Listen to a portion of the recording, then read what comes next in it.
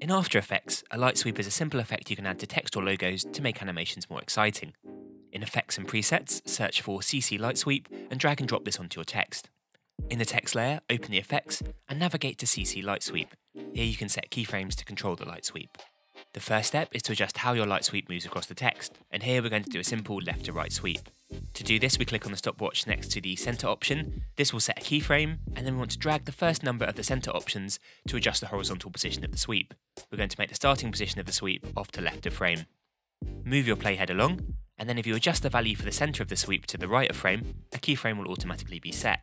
Play back your composition, and you can now increase or decrease the distance between these two keyframes to speed up or slow down the sweep. To adjust the look of the sweep, bring your playhead into the middle of the sweep to see how the effect looks, and you can then use the other options to adjust the look of your sweep. Most commonly, direction is set to zero, so the sweep is completely vertical, and you might also want to reduce the intensity to smooth the overall look of the sweep.